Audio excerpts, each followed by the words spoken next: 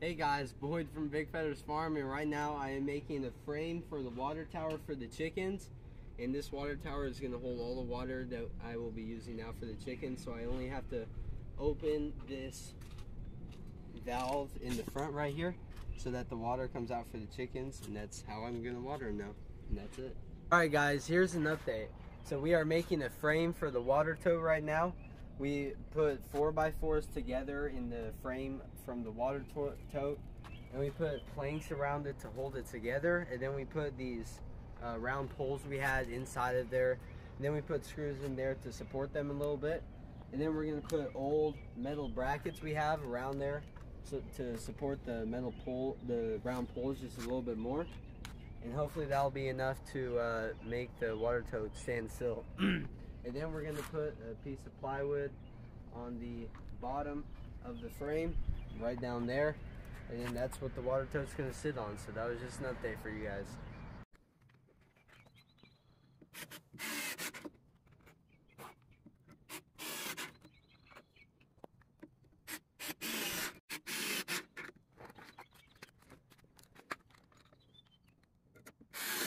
Alright guys, so this was day one of building the frame and the structure for the water tote that we have, it's going to have to be very strong because it has to hold 2,500 pounds of water.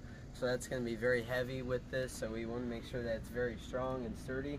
And we made all of this from leftover materials and scraps that we had. So we didn't have to buy anything. So that's an awesome part of this. And it's pretty sturdy, I'd say, for now. And we're going to add some more things tomorrow. See you guys later.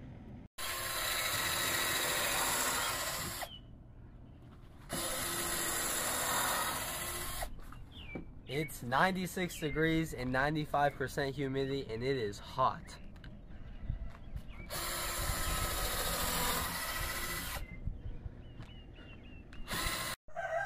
Alright guys, here we are uh, several months later.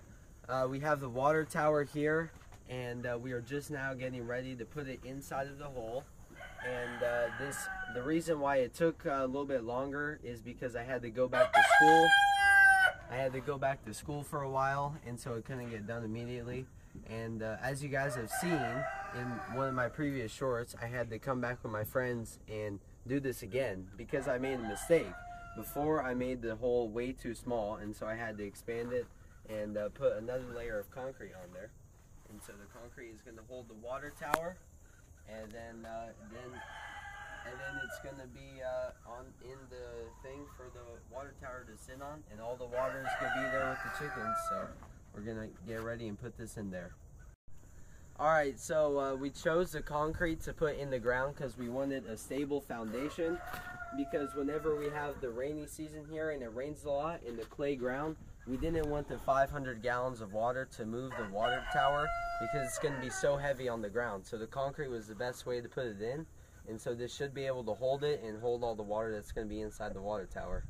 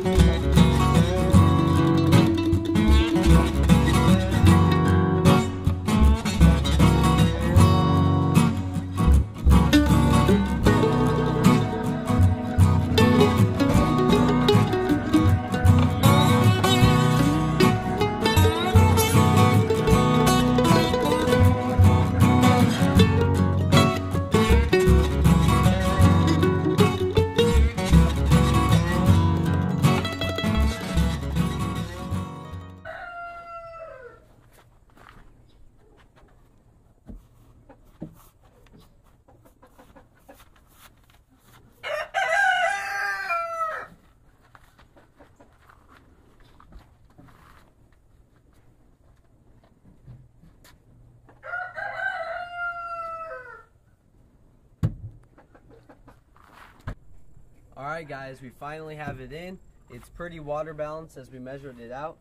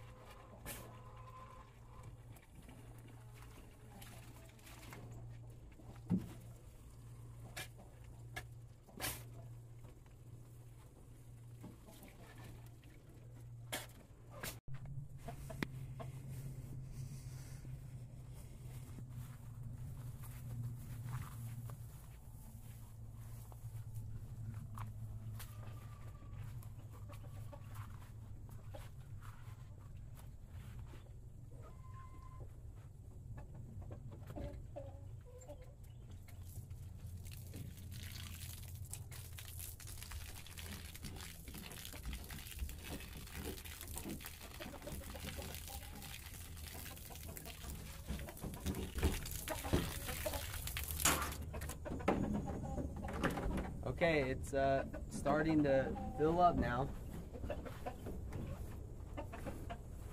So, there you go. starting to fill up the water tank for the chickens. It'll probably take several, oh, a lot of hours to fill up. And uh, I'll see you guys when it's totally filled.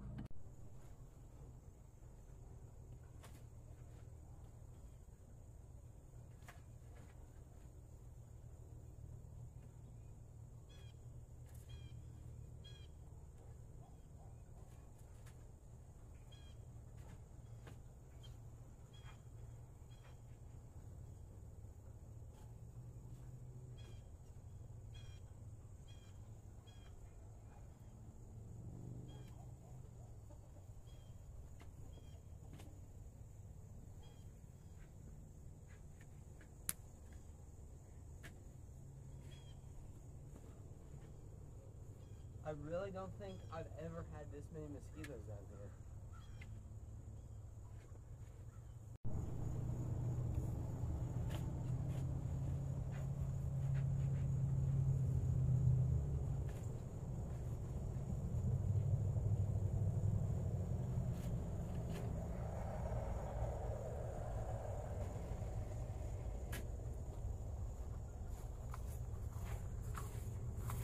Well guys, this is the water tower. Uh, hopefully this will automatically water the chickens. We still have to put a couple more pipes in there so that the water can flow to the each of the chicken runs so it can be fully automatic.